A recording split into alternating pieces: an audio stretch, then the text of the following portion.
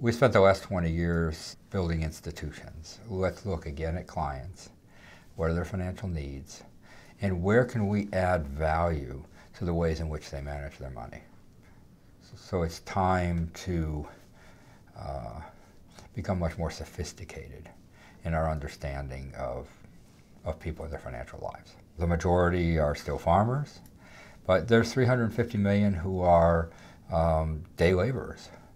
You know, so you end up finding classes of individuals that microcredit, as it's designed, isn't necessarily aimed at serving.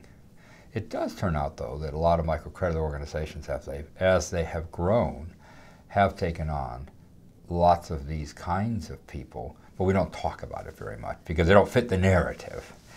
By understanding, first of all, that they exist, by counting them and calling out more explicitly that they are viable segments of the poor, I think it may help us start to design products that more carefully fit the way they earn money and their financial goals.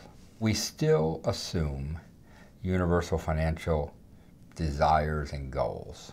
Virtually every family is trying to educate its kids, be prepared for a health shock, um, old age, put a roof over your head, maybe invest in an income generating activity. That's pretty universal.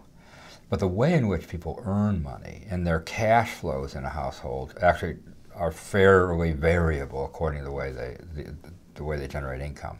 So it seemed to us at first blush that in terms of eventual product design, you might design some fairly different kinds of products for fairly different sorts of cash flows more than for different financial objectives. So if a farmer is going to buy a cow, when that represents two years annual income, they need a different kind of loan than they're getting with microcredit. And so, so you have to be aware of that on the margin and say, okay, for buying cows, you need a product. And so, so it's, it's understanding the difference between general finance which is applicable to most families all the time, and specific kinds of finance that certain sorts of families need at certain moments to accomplish a financial goal that's very important. The challenge with all microfinance is cost and information, and that's what we addressed with credit most successfully some years ago. But you also have a revenue model associated with credit that helps a lot. Um, savings has been tough because the economics are tougher. Information is not so much of a problem, but, but economics are tougher because the transaction size is so much smaller. Most people don't have so much to save. Each time they might have a little extra money. And so in relation to the cost of standing at a teller window, which is about a dollar in any bank around the world, the amounts they're saving is just not sufficient to warrant the bank wanting those people in line or for them to spend a dollar of their own money getting to the bank to stand in line to deposit a dollar or two or five. So the basic problem with savings is it's too expensive for both clients and institutions alike for most passbook deposits, sort of sight deposits that you're transacting a lot. Um, therefore, savings has just not been tried much for poorer people. Um, there are two ways to think about this. There's a big opportunity to work harder on savings that is associated with loans. So for instance, when someone makes a loan payment, doing a savings top up, so that in the same transaction, without a great additional cost, you can capture deposits. There's not nearly enough work been done on that, and I think we can do a lot more. And also taking advantage of agent banking, mobile money, and other delivery channels that drive the cost down from a dollar at a teller window today, I think to less than 10 cents on a dollar which would dramatically change the, uh, the cost structure of making deposits and make saving services much more viable for poorer people than ever before. I think you have to have a little patience, right? Um, I, I, think that people are, they're overinterpreting M-Pesa because um, it's just one example, and it's an example of a, of a money transfer system. And I believe you're going to end up with a number of money transfer systems but, but no, not too many people sat around at the beginning of the creation of M-Pesa and said they were creating an alternative banking system. That wasn't the objective. It never was. And so, you know, you have to get these infrastructures built and then hope uh, or encourage creativity in their use by a variety of players. And so, what I would hope to see in Kenya over the next five years is a bunch of different financial companies figuring out ways in which to use this transactional platform to provide access to financial services. Something I don't expect from Safaricom or or even an equity bank that's you know trying to do its own thing. You know, I think what you'll find is probably innovation from much smaller players who aren't so heavily capitalized, who are just going to try and get up on those rails. And you'll get several of these mobile money kinds of transactional systems built, I think, over the next, uh, oh, five, six years.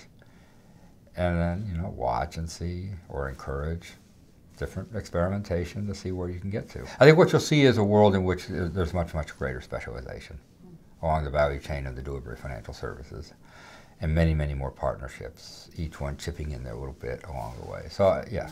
And, and you're going to see far more things fail than succeed, uh, you know, until we get there. And there'll be big failures because they're big investments unlike microcredit, which was never a big investment. You, you, you know, you, anybody could put together a few loans and call it microcredit. You know, these systems will be, you know, they require tens of millions of dollars of investment each one, and um, most probably won't succeed.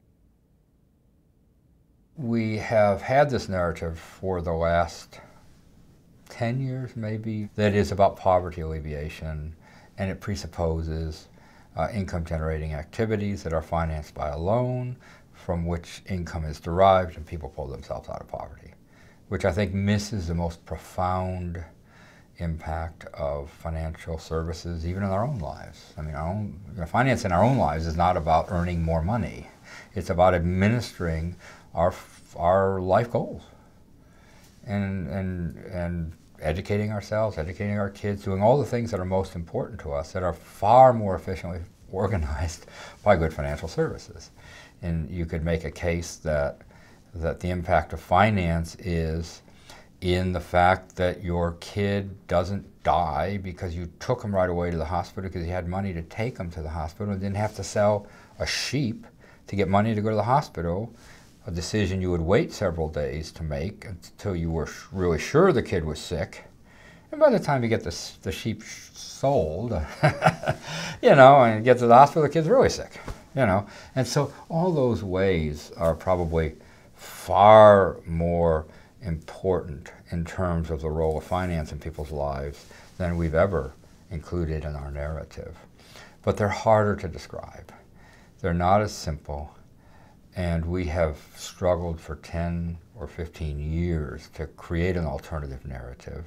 And we've fallen back on the skyhook approach to poverty represented by microcredit because it's just easier. It seems more motivating for fundraising. And it becomes a self limiting um, feature of our work because it means we deny the existence of all sorts of other clients in our portfolios. We don't measure them, we don't try and serve them specifically. It means that we're reluctant to try new kinds of products that may not fit that narrative.